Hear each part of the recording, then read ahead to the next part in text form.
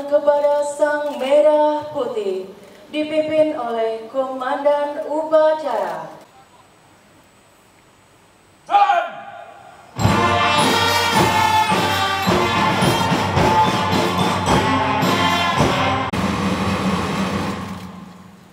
Inspektur Upacara menuju mimbar upacara.